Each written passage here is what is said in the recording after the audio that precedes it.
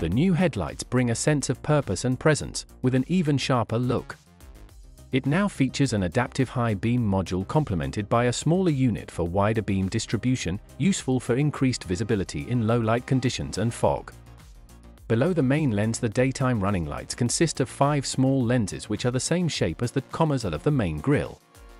The daytime running lights now encircle the main headlight lens, joining with the thin light above the headlight which is similar to the unit on the previous iteration of Qashqai, but it now has an illuminated Nissan on its outboard edge. The upper daytime running light element becomes the turn indicator when activated and, for the first time, features sequential turning lights.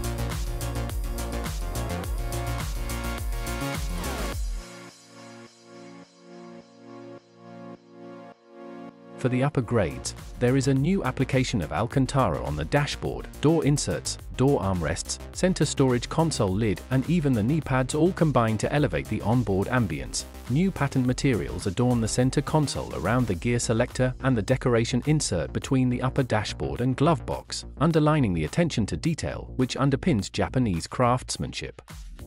Updated seat trims have been introduced across the upper three grades of Qashqai for an even more premium feel. Most notable is the black partially quilted premium leather on the top spec Qashqai. On the penultimate grade, there's a quilted synthetic leather which is complemented by burnt umber flashes on the seat base and shoulders of the seat upright. The seats on the N-Design grade feature black leather with quilting and Alcantara inserts, while specific embossed Qashqai word mark adorns the section just below the headrest. Another new dimension to the elevated life on board feeling is the addition of ambient lighting on the N-Connecta, N design grades, and above. Advanced red, green, or blue LEDs discreetly located to allow the driver or passenger to personalize the interior lighting according to their own mood.